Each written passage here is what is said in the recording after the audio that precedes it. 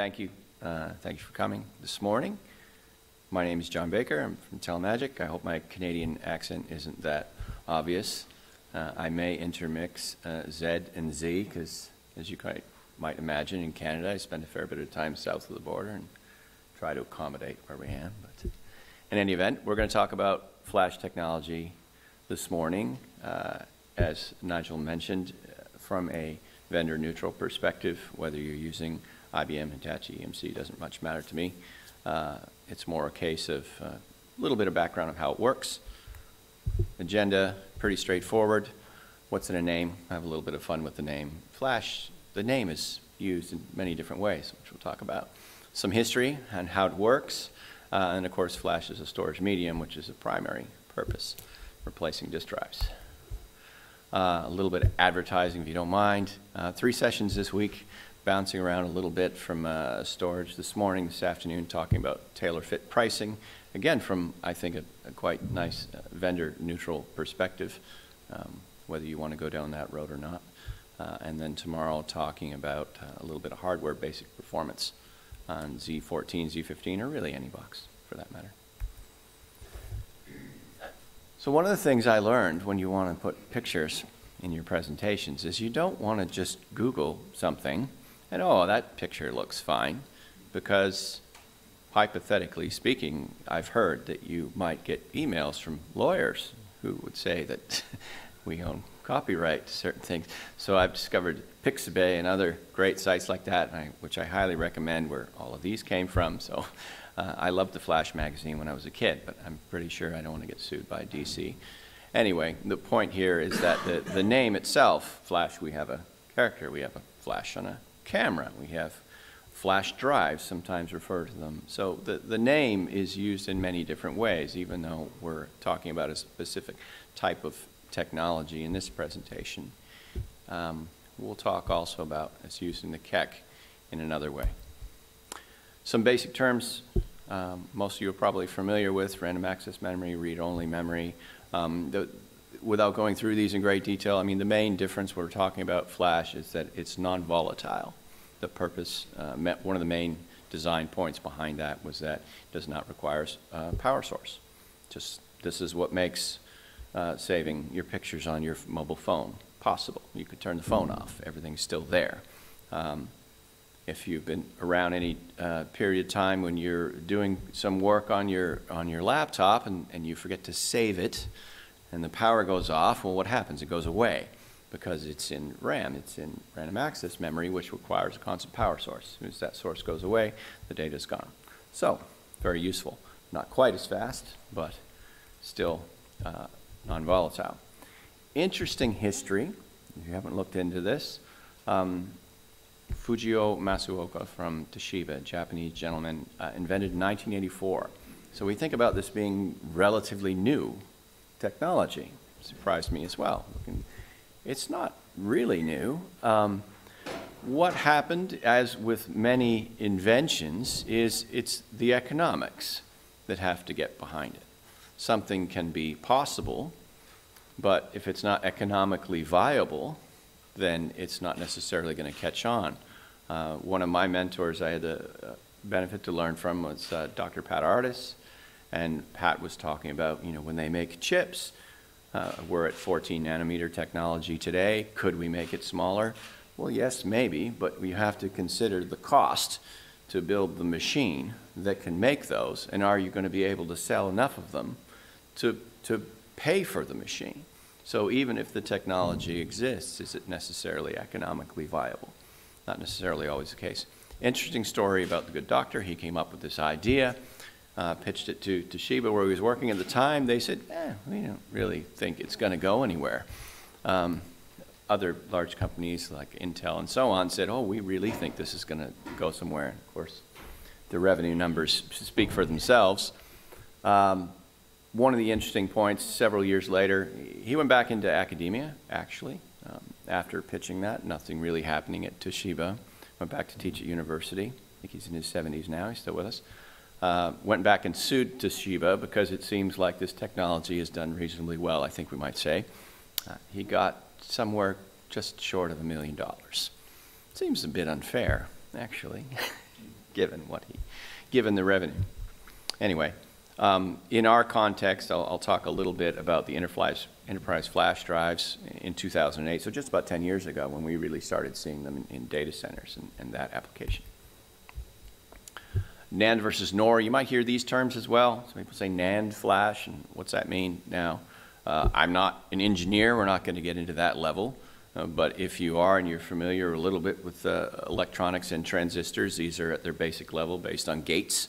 Uh, a gate is just like a light switch, opens and closes, has two settings. Um, and you have the NAND and NOR gates, which are used to build uh, different things within the chip. NOR-based and NAND-based flash are really just uh, named based on the way they look. It has nothing to do with the actual background. You primarily we're talking about NAND-based flash today. It's not really important to our discussion, but a little bit of trivia. Some basic principles. So flash is a series of electronic memory cells. Simple picture here.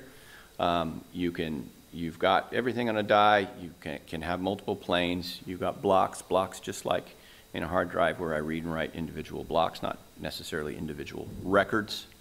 Uh, a page, I can read or write to a page, but there are some limitations that we're going to talk about in a moment with that. A couple of flavors I'll refer to single level, multi level, triple level cell. You might hear these terms as well. So back in 08, when the enterprise, enterprise flash drives came around from EMC, everything was single level cell. Single level cell is, is um, it's the most reliable.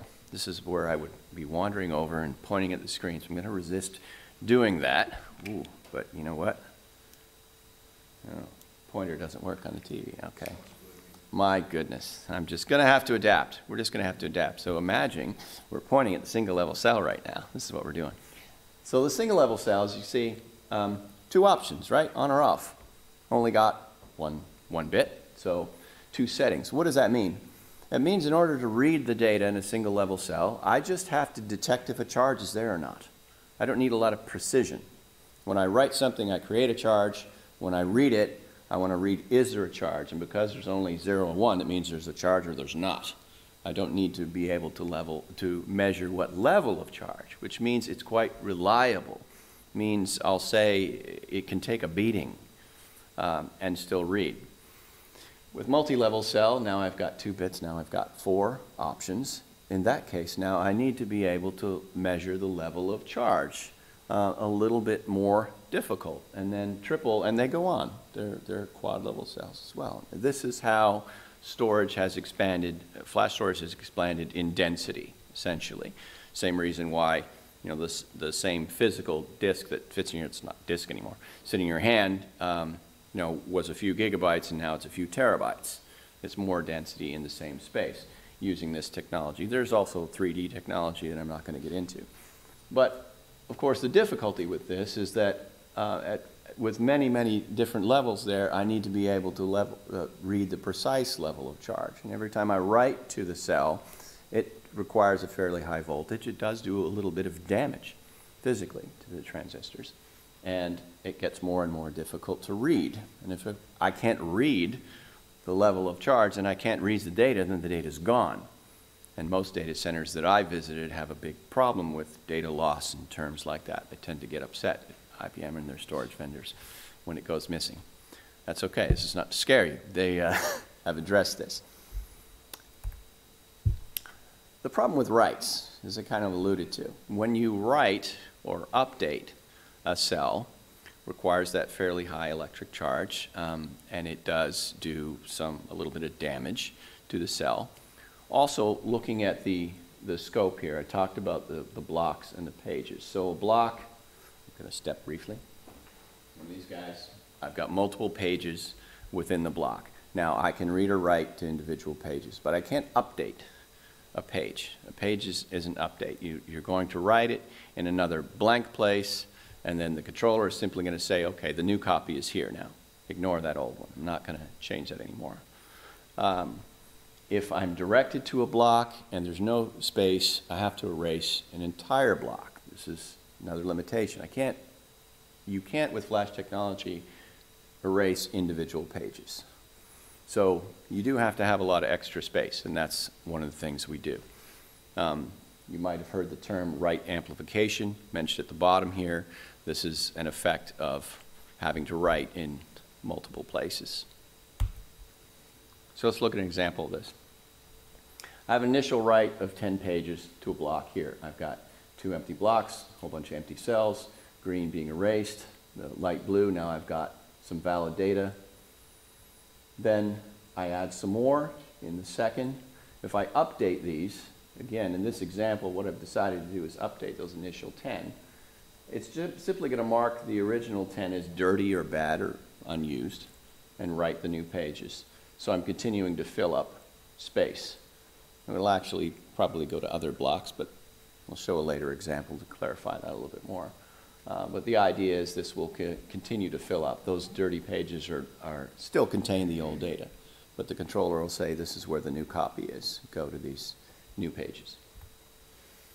Now let's fast forward a little bit and assume that this block gets filled up with new data. And now I want to update any one of these.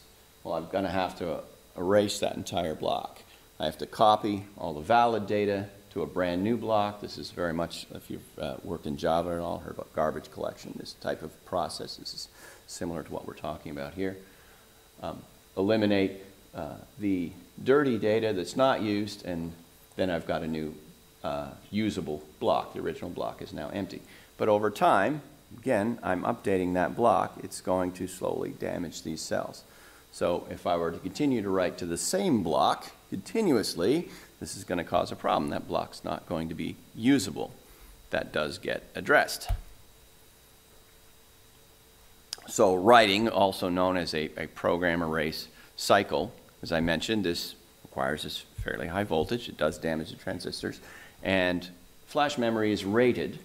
Uh, you can look up this up, probably even if you look at a drive that you buy for your laptop or something. It'll have a PE cycle uh, range on it that the manufacturer will warranty. And it might be 100, it might be 100,000, it might be more, uh, depending. Just a brief comparison. The single level, multi-level, triple level cell. So 100,000 program erase cycles for a typical single level versus three in 1,000. So when you look at that, just ignoring the other variables for a minute, you think, well, why would I use anything other than single level?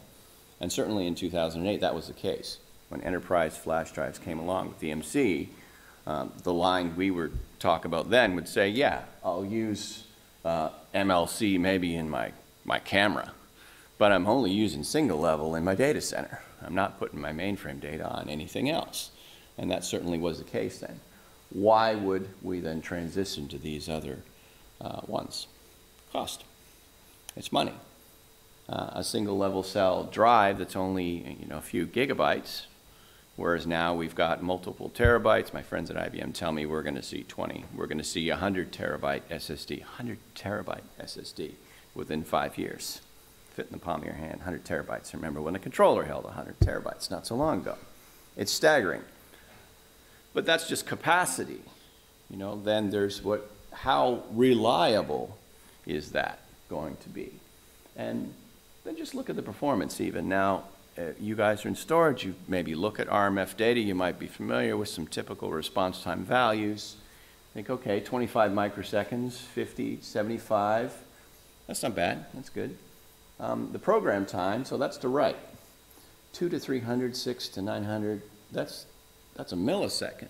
That's a, that's a long time to write. Now that might not necessarily be tolerable. Anybody got an idea of why I might not care about that. It's nothing like morning sessions and throwing quizzes out there. Okay, so when you write to a controller in a mainframe environment, and this might be true in non-mainframe, but I'm not qualified about that, I wouldn't speak. But whether it's IBM, EMC, Hitachi, doesn't really matter. You write to the controller's cache, and you write a second copy to non-volatile storage, so I've got two copies. And then I send back channel and device end. I tell uh, Zed, I tell the application that it's done. It's not on disk yet. It's going to get destaged asynchronously later. And it's going to be considering RAID, and it's going to be considering updates to the other ranks, and the controller will do that all very efficiently. But the point is, it's not done at the time. So I actually don't care. To a point, I don't care. I don't care until, if and until, I'm writing to the controller at a rate that is higher than the controller is able to destage. And then the controller's cache would fill up. And then you would see a fast write bypass, which is an old term. Some of you might have been around or recognize that, where literally we had little small caches. And you could go around it. You, you could issue the instruction. The instructions still be issued today, bypass cache. Controllers will all ignore it. There is no path around cache. But that response still could come back and it would call it fast write bypass because what it's saying is, I'm full. This is Scotty calling from the engine room now. I can't take it anymore. Stop. And, and you would actually get a long busy sent back up the channel saying, I, I can't take anymore. And this, that can hurt. The solution to that, by the way, is not more cache. Although, Tom Beretvas, another smart fellow I learned from over the years, used to say it doesn't matter, but the question is, the answer is more cache. Setting that aside, if you did run into that problem, the problem is really with your destage capability and, and the, the back-end balance. We'll talk a little bit about that. Also the erase time, you know, quite large numbers, but for the very same reason we don't mind. So we'll, we'll talk a little bit more about these, but Anybody think we we're still using lots of single level cells in our data center today? Yeah, no, we're not. And you'd think, based on these, uh, pretty much everything is MLC in the data center. You buy DS8K, you buy EMC Hitachi. I can see maybe there might be a, a higher tier, more expensive, something like that. We're going to see tiers of flash. I'll talk about that in a moment as well. But addressing this program erase uh, issue. Now, I, I did fib a little bit earlier when I was showing that example that we were writing to the same block and then we were writing more to the same block. That's not actually what the uh, drive is going to do. The controller is smart. It knows that each of these cells has a limited lifespan primarily dependent on the frequency of writes. So it spreads them out. And wear leveling is a, probably the most common technique that all the vendors use and it's simply like a shotgun scatter shot approach, but it's not random. You'll actually be keeping track of, okay, how many writes has this cell absorbed? How many writes has this cell absorbed? And it'll spread them out all over the die, all over different cells and blocks. And again, simply keeping track using pointers, saying, okay, this is my good copy right now. So there might be several old copies scattered all over the place. As long as I still have capacity, I have no need to, to erase those. I have no need to go through that exercise. So that's another area. The second point there, there's significantly more physical storage. If you buy a two terabyte drive, there is significantly more than two terabytes of physical storage within that drive, even whether it's in your laptop or in your controller. And just like with a disk drive, where it's not just reading the data, but detecting how good is this read? You know, am I, am I having to retry? Am I starting to get errors on this track? And it would mark a track as bad and say, don't put things in there. Similar thing here. Some of these cells start to go before it actually melts, so to speak. It's going to say, I had to try three times before I could get that data. Let's mark that cell bad. Let's not put anything there anymore. And then over time, the usable storage would start to diminish.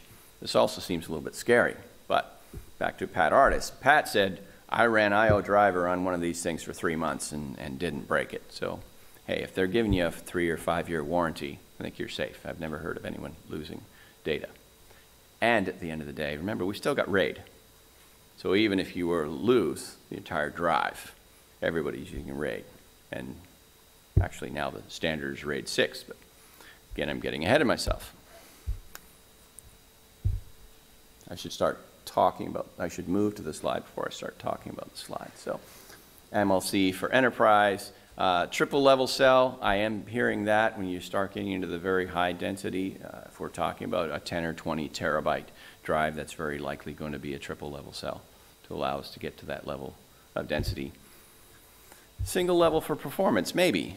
Again, um, back in 08, there was a company called STEC.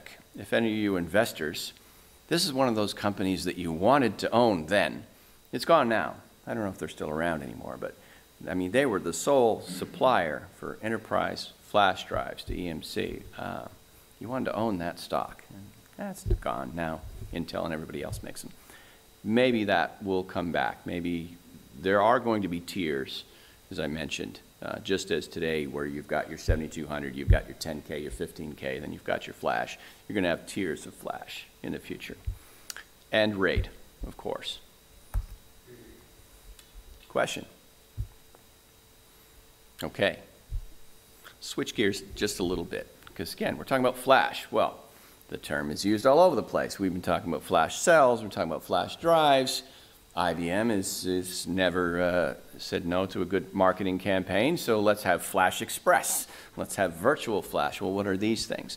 Well, if you've got an EC12 or a Z13, you might have Flash Express. What is Flash Express? These are solid state drives uh, that essentially, when you, if, I was going to say, if and when you page, most shops don't page much anymore because we've got large central storage. There's not really necessarily a reason, but if you did, you might take dumps, you might have large uh, sorts, DB2 reorgs, things like that, that can cause you to go into auxiliary storage.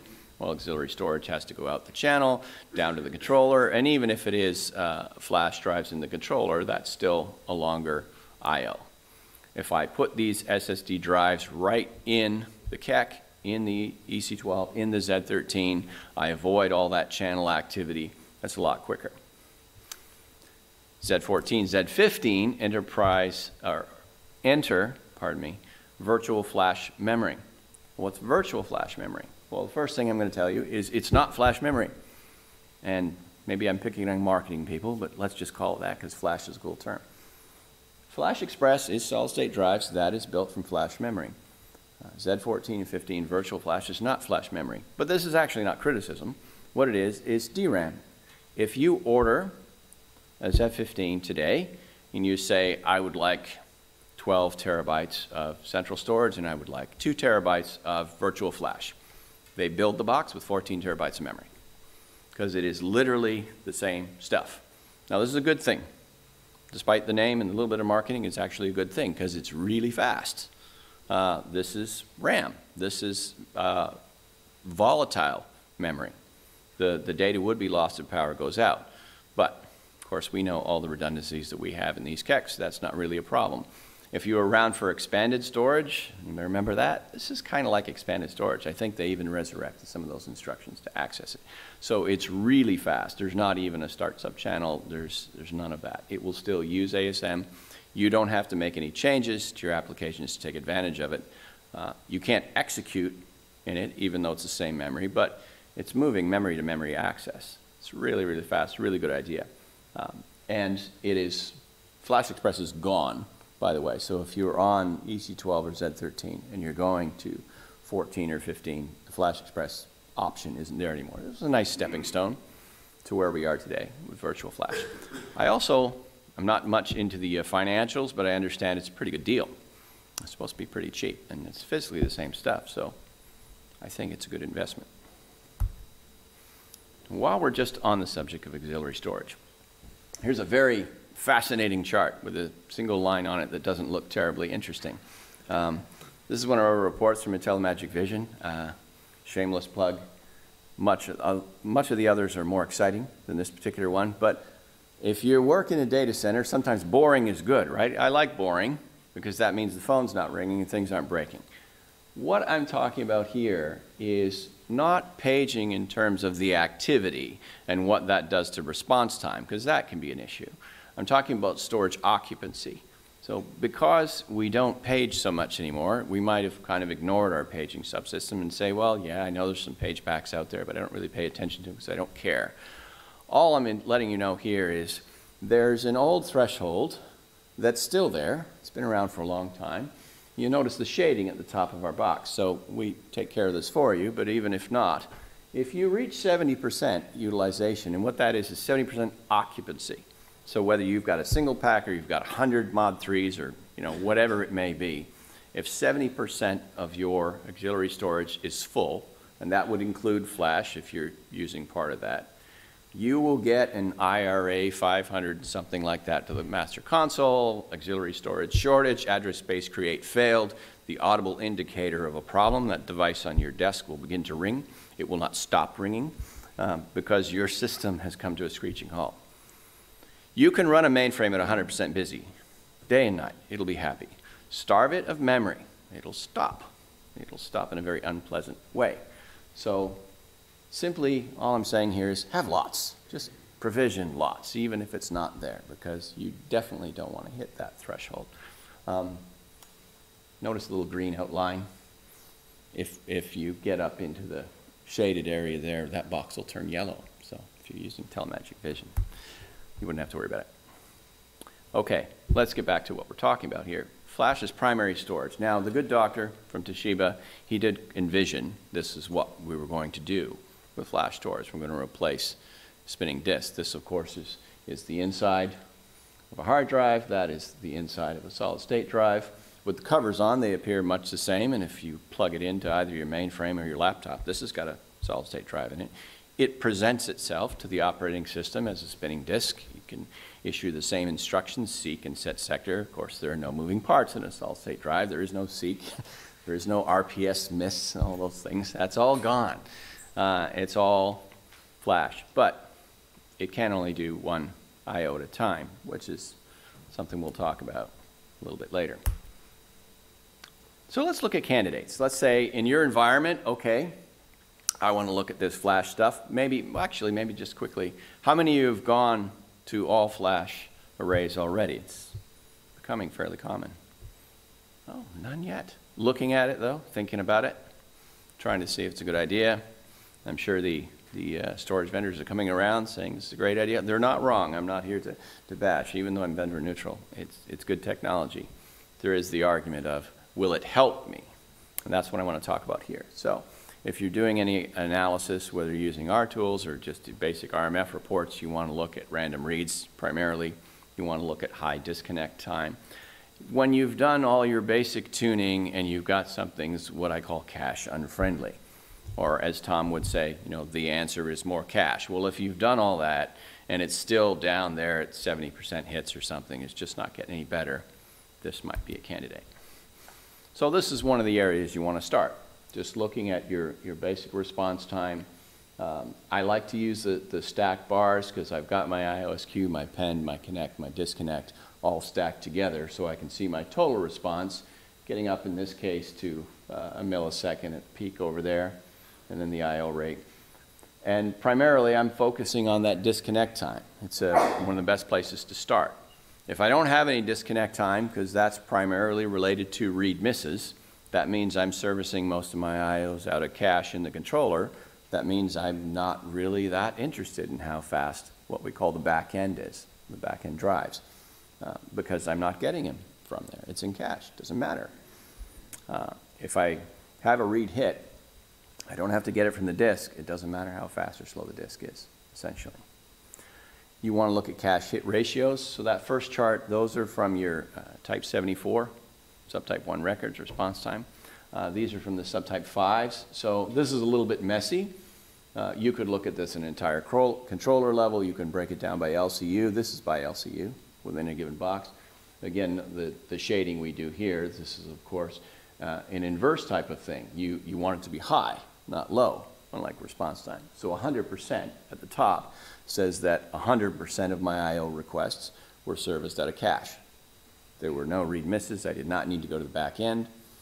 As I mentioned earlier, writes are always hits, unless I'm getting into a bypass cache situation. So it's these random reads where it wasn't found, I need to go back in. So you might want to filter some of these out and identify which volumes, which storage groups, which applications, uh, DB2 is one of the more popular ones, tend to be cache unfriendly.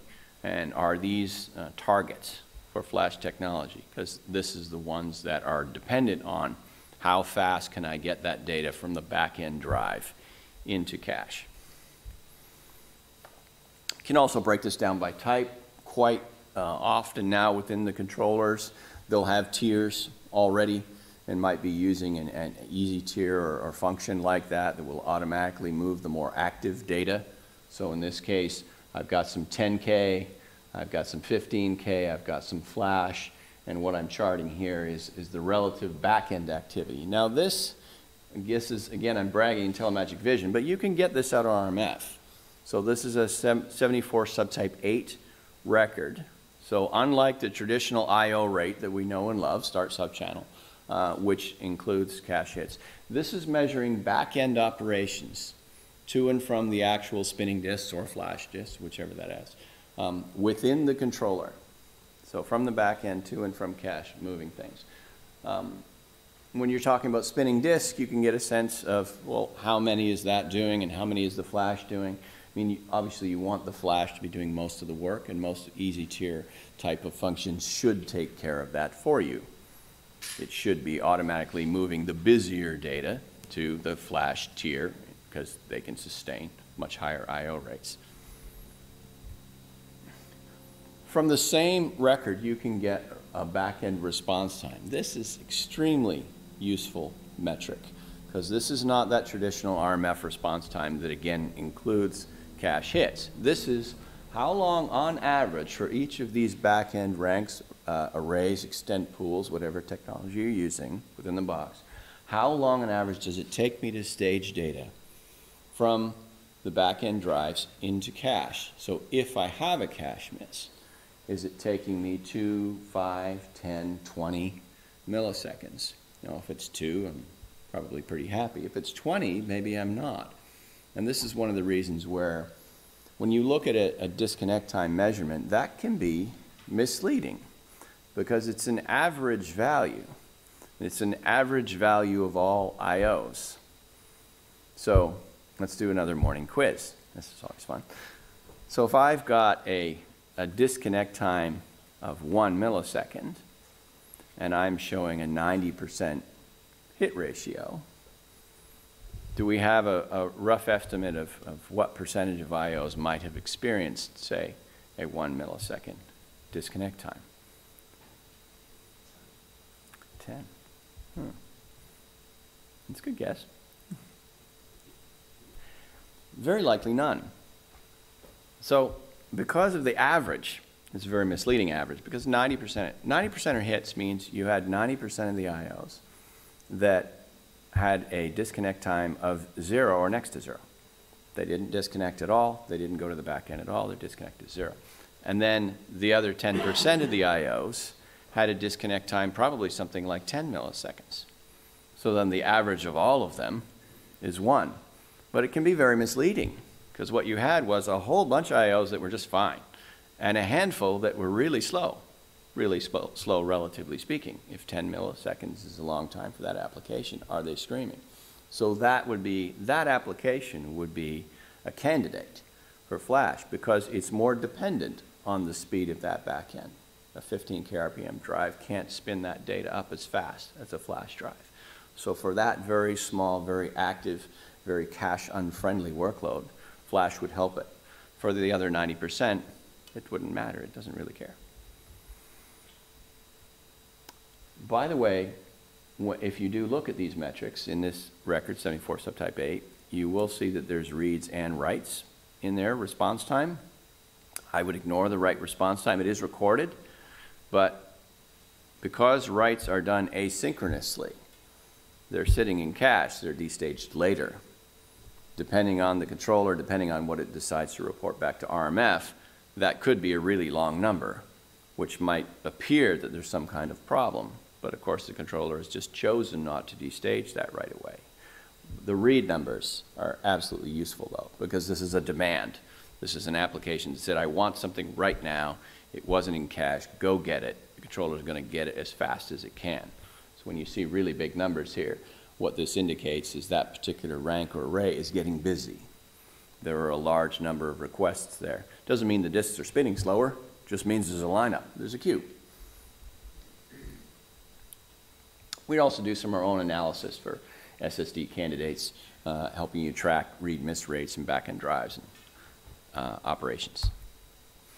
So let's talk about the money, because again, this is usually what comes into play, not just the technology. Getting back to Pat's point, yes, maybe we can do this, but is it economically viable to do this? If you've bought storage over the years, quite often you'll go to your boss and you say, okay, what's the cost per gigabyte today? That's the way we would buy things. Interesting quote from the uh, uh, VP Finance of, of Seagate. I, I, thought this was interesting. I'll never foresee the day when there's a crossover between the per gigabyte cost of NAND and rotating magnetic media. What he's saying is, in his opinion, spinning disks will always be cheaper than flash disks. Like that's a, it's a brave quote. I'm not sure I would want to debate with the VP of Seagate. He's, he's probably done a lot, but uh, look at some numbers. Um, not sure how well this is showing up back there. I apologize. I definitely will post the slides, but um, talk to a, a, couple of relevant numbers. We don't need to go back to 1965 because they're not terribly relevant to NAND flash. NAND flash didn't come on the scene until 2000. Uh, and primarily what we're looking at is the cost here, dollars per gigabyte for spinning disk and for flash. So I go back to 2000, $7.70 a gigabyte for spinning disk, $1,255 for NAND flash. Yes, it exists. Economically viable, not so much. $1,200 a gigabyte. I don't think your boss is going to approve that. You can say, look how fast this is, and he'll say, I don't care. You're, any of you ITIL certified? Got to be some. So ITIL has a, a, a, number of different sections. There's finance and there's capacity planning. And in my experience, I found what is the uh, comparison between finance and capacity planning. Capacity planning is where you tell them what you need. Finance is where they tell you what you're getting. This is the world that most of us live in. This would be the case in, in, in 2000. You can say, I need this NAND flash. You'll say, you're getting the spinning disk. Make it work. You're a smart lad. Okay. 2005, 79 cents for spinning disk, all the way down to $42 for NAND flash. Getting better. Trend continues all the way up to uh, this 2017, the most recent uh, values that I have. Two cents a gig spinning disk. Dirt, dirt cheap. 30 cents for flash. Still cheap compared to 1200. So it, it got viable. If you think about uh, that EMC breakthrough 10 or so years ago, so 08, in 2010 it was $1.75 a gigabyte versus 10 cents. So quite a premium. But that's where you could build a case, just as we did with memory uh, years ago when we started putting cache in the controllers, where we'd say, okay, I can afford this small amount of cache memory for this very important uh, application uh, that requires that speed, but I can't do it across the board. Now we're talking about all flash arrays. We're doing it all across the board. There's a couple other considerations. Yes, prices continue to drop for both. Um, SSD adoption fuels demand, which fuels innovation. I have a 250 gig solid state drive in this laptop. This laptop is five years old. I didn't buy it because I said, oh, I have to have this flash drive. I bought it because it was there. It was about the same price anyway. It's not going to be worse, so why not? Uh, it, the spinning disks are just kind of going away that way. I've been hearing for many years that 15K is dead or 10K is dead. Uh, all three tiers are still there. I, I can't believe they're still there. I can't believe that they're all going to survive. One or more of them has to drop. I don't think it's going away. But we don't need 7200 and 10K and 15K and multiple layers of flash. It's just not sustainable. Those factories are going to start shutting down. And then you think about RAID. Now, I'm a confessed, admitted mainframe bigot. But those four fellows from Berkeley, when they came along and said, with this RAID idea, said, oh, do away with those big spinning drums of yours. You know, we're going to give you these cheap little drives, and, and they're going to be way better. And we're like, come on, that stuff's not reliable. Get that away from me. That we're, we're mainframe people. We want storage that works, storage that we can count on. Yeah, but there's going to be so many of them. Half of them are going to break. Yeah, so what? They'll break, and we have more, and, and, and you won't care. It seems crazy. It seems, you know, cowboy mindset to this mainframe fellow. And yet, isn't that what we do? That's what we do. Your storage controllers today, your multi-million dollar boxes are filled with these cheap little drives and they break all the time and we don't care because we have RAID. So I, I, tend to think, okay, this is probably going to work. Environmentals, this is the one subject I haven't touched on yet. So you might think when you look at those cases for performance benefits, and you look at a, a, typical mainframe environment that has a 90%, 95% hit ratio. We are quite blessed in the mainframe world. our hit ratios are very good. This is not the same. If you work in the distributed world as well, if you're familiar, that's a much bigger challenge. They might get 50%.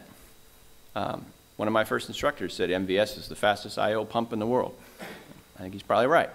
Um, but because of that, we don't need this. And I guess that's what I'd say is, I'll call it the dirty little secret, This flash memory isn't for us. It wasn't invented for mainframe. We didn't have an I.O. problem. We got 0.2 milliseconds response time off a spinning disk. We got 95% hit ratios. There's no need. It's not filling a need. Um, whereas when you've got 50%, when you're really dependent on that back end speed, and of course all the explosion in the distributed world, they really, really need this. We're getting it because that's where the bulk of the manufacturing is going anyway. And it's not worse. So you might say, well, why would I even bother? Why you might bother is the environmentals. In a large storage controller from any vendor that's filled with dozens, if not hundreds, of spinning disks, those spinning disks are by far the largest consumer of electricity, the largest generator of heat requiring cooling. Um, and if you're in a large shop, a large data center with many large storage controllers all over the place, those electricity and cooling costs can start to become an issue.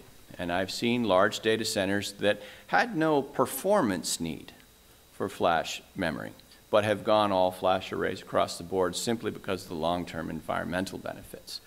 They run cheaper, they run cooler, uh, they last longer. And then finally, dollars per IO. So we talk about dollars per gigabyte. You might think, well, that's, that's a space metric. How much space do I need? Well, I might also need to consider, well, how much activity do I need to sustain? It's fine to buy a 20 terabyte drive. Uh, I can buy, I can buy a, a 15K drive at, at 600 gig. Let's say I could buy one at 2 terabytes. They wouldn't make one at 2 terabytes. But could I do more IOs? No. It's the same performance. So let's look at this. Access density. Anyone still look at access density? This is something we need to do. IOs per second per gigabyte of storage. This was very important as drives began to grow in density. When I had 36 gig, 73 gig drives, life was good. They were small. I didn't have that much data on it. They were all very busy. When I went from, say, a 73 gig to a 300 gig, say they're both 15K, the 15K drive has got to be 15 years old now. But say I make that leap. Well, now it's, it holds four times as much stuff. But it's the same two and a half or three and a half inch platter spinning at 15K RPM. It can't do any more IOs per second. The 300 can't do any more than the 73. It can hold four times as much. So if I took the workload from four 73 gig drives and say they were each doing 100 IOs a second, for argument's sake. I consolidate them onto one 300 gig. Boss is happy. So oh, now I got one drive instead of four. That's cheaper. That runs cheaper. It's, you know, consolidation and all that. But now, if the applications haven't changed, well, now I have a single drive that's trying to do 400 IOs per second. 15K RPM drive won't do 400 IOs per second with any degree of performance. It just won't. That was a little bit of a side story, but we'll take about this hypothetical here. So say my requirement is 10,000 IOs per second, rather than so much space. I just need to be able to do 10,000 IOs per second. And I'm going to go with spinning disk. Well, 15K RPM, I'll tell you, can do about 200 and, and maintain decent performance. You get over that, you're going to start to see a queue. So I, that means I need 50 disks, whether I need the space or not. And the 73s have gone away, and the 300s, I think, are gone away. And you, you know, you're probably into 600 now, but in this example, I've still got 300s. But at 300s, that means I need to buy 50 disks. Maybe, maybe my application is 2 terabytes. It's not 15 terabytes. But I need to do 10,000 IOs per second, so I have no choice. I have to buy all these disks to be able to do that. So I've got 15 terabytes that are probably half empty in this particular case. Or I could buy a few flash drives, SSDs, at three terabytes each. I just, I don't see, getting back to the gentleman from Seagate, I don't see how spinning disk can compete at this level um, when they can do thousands of IOs per second. They just don't have that limitation. So all flash arrays, well, why haven't we seen these yet? Um, You'd think that we would have actually started seeing this sooner. Well, traditional controllers, your DS8K, your EMC, your Hitachi boxes, these were designed for spinning disks. So yes, can I take, just as I did in '08, can I take a flash drive and plug that in to the same SATA interface of a spinning disk? Yeah, I can do that. Will it work? Yeah. And can that disk do many more IOs per second than the spinning disk it replaced? Yes, it can. But think about a controller that has hundreds of slots like that, and it's doing, you know, 50,000 IOs per second for argument's sake, with spinning disk. And I replace all those spinning with flash drives, which can now do 10 times as many IOs per second, times 100 of them. Do I now think that controller can do 10 times as many IOs per second? No. This is one of the things that the storage vendors are catching up on, and they're making great progress. But it's been a, a matter of some of these other components, the weakest link, if you will. So flash drives provided this great leap ahead, but the surrounding infrastructure uh, still couldn't get there.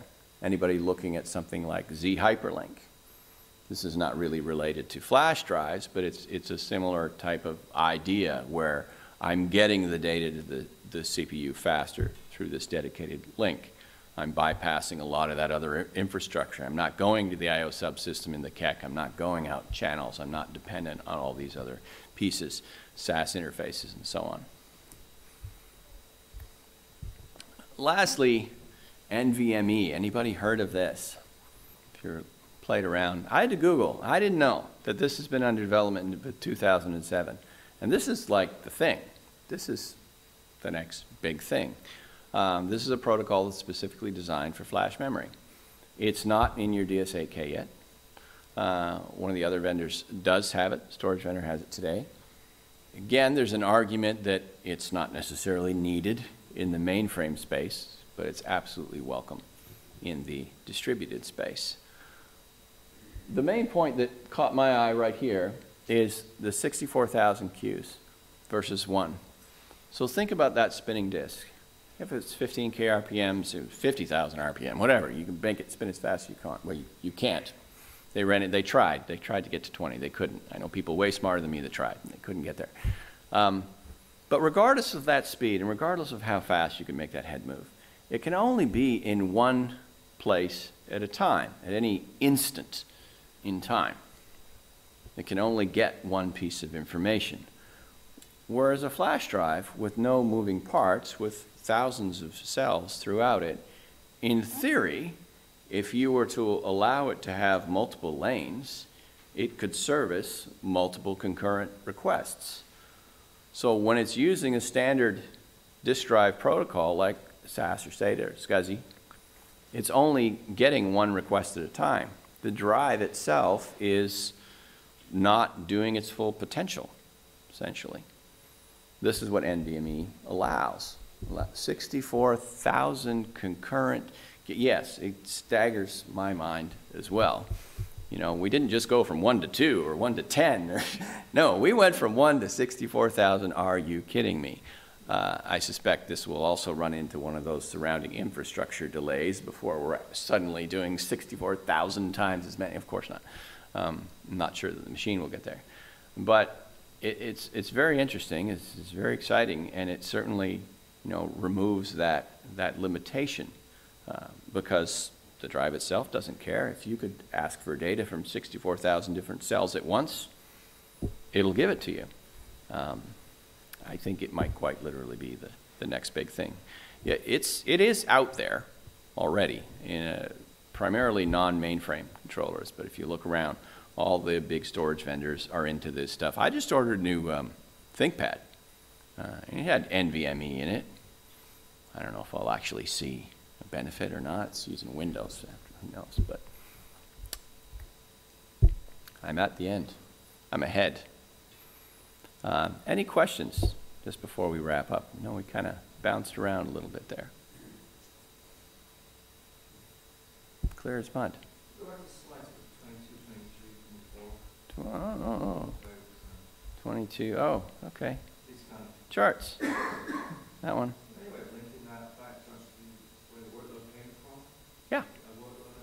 Yeah. Yeah, absolutely.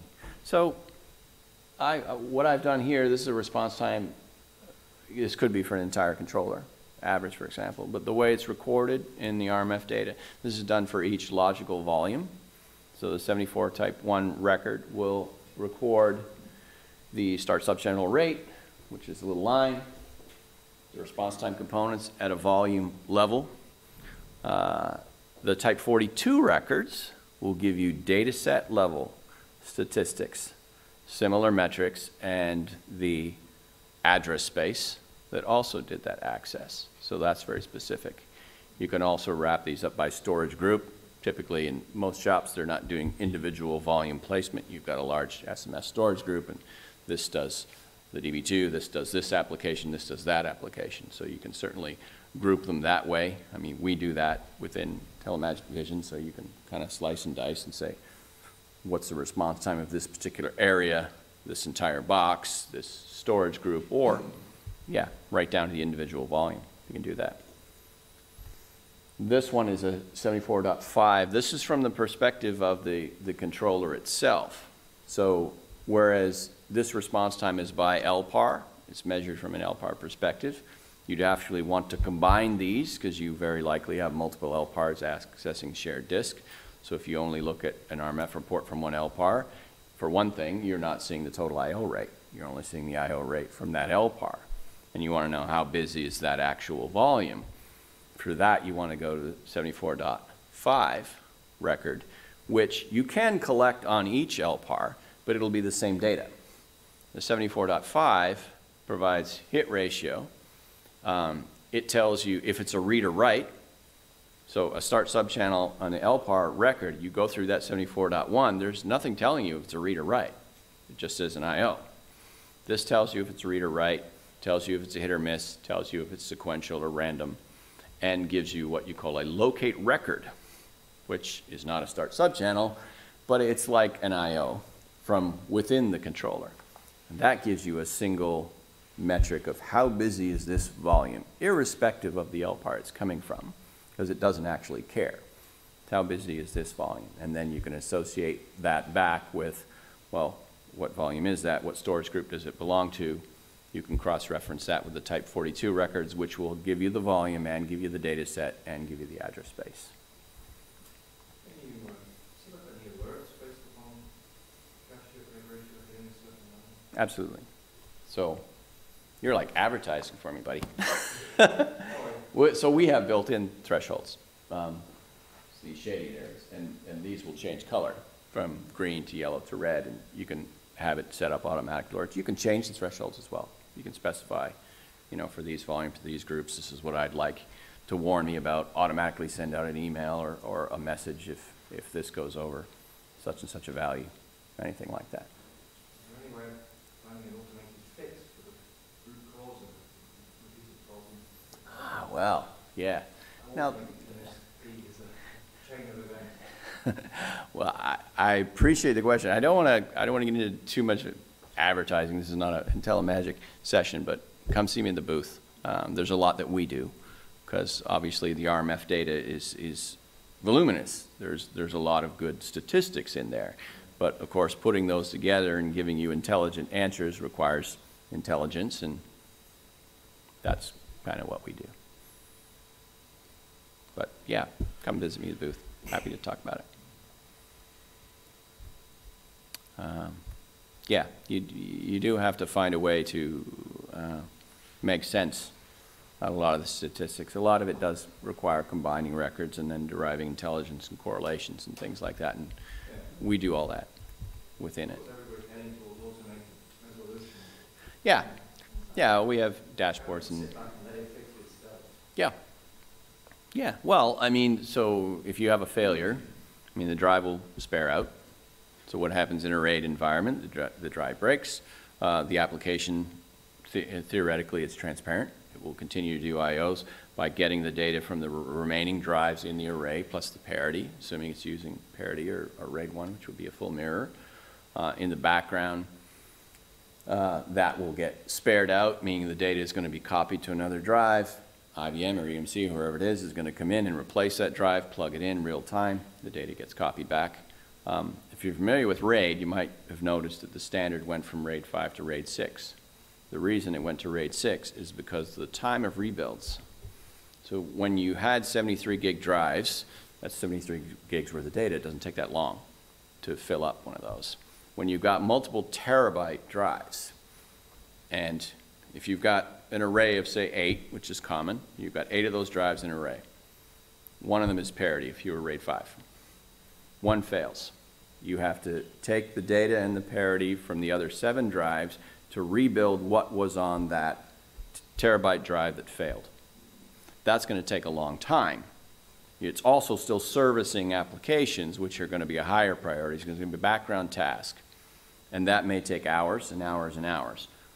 During that rebuild time, until that disk has been completely rebuilt, that array is at risk. It's an exposure because RAID 5 can tolerate a single failure.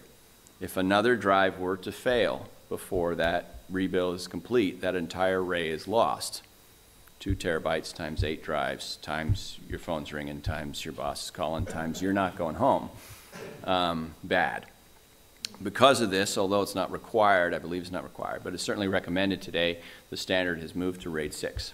RAID 6 has two parities. It means it can tolerate a double failure. Um, so you lose a little bit more space. You lose two out of your eight drives instead of one, but you can take a second failure during that rebuild, and that rebuild can take hours, and it's, it's really just a safety reason. If you've still got small drives and it's not that active, you can say, no, no, I'm good with RAID 5. And it'll work a little faster because writes take longer with RAID 6 because they have to update both of the parities. So a single update to a record is updating the record and updating both parities. So that does generate more activity, but the trade-off is, is available. Yeah, that's why I know IBM in particular has said, everybody's going with these huge drives. We want you to use RAID 6, please. I'm pretty sure if you say, no, I don't want RAID 6, I want RAID 5, they're going to say, please sign this disclosure that you won't call us if something bad happens. that would be the guess. Okay. Uh, appreciate the discussion. Um, just to wrap up, Flash is a portable memory of today. We would not have cell phones without it. We wouldn't have your, your I was going to say BlackBerry. I'm showing mine. uh, some say it's debatable if SSD will actually pass, but I think it's going to be a moot point anyway. Uh, if they're cheap enough, they don't have to be cheaper, and they're definitely going to be better. Uh, don't forget those environmentals. That's probably the biggest uh, if you've got any kind of sizable shop. And done questions. Please do submit your feedback. As uh, I appreciate it, as well as uh, Mark and, and Nigel. I know. Uh, look for that. Um, always looking at your thoughts and how we can improve. And thank you for your time. Mm -hmm.